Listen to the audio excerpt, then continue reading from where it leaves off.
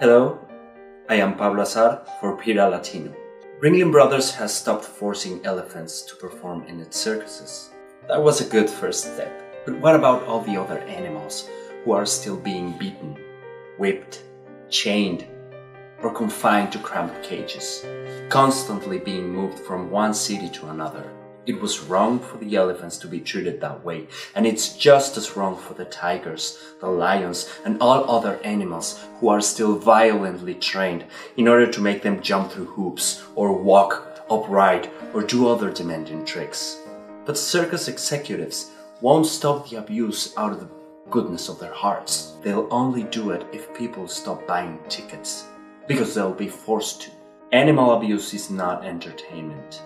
So please, never attend performances by any circus that still uses wild animals. Thank you.